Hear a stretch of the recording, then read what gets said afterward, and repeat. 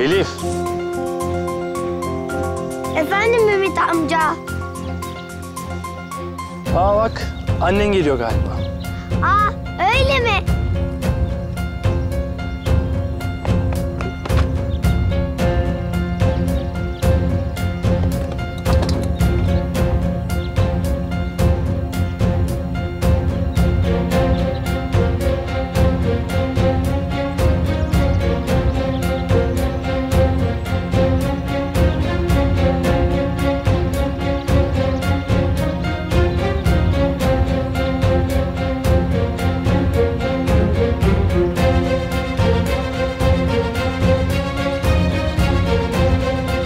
Şimdi tam zamanı.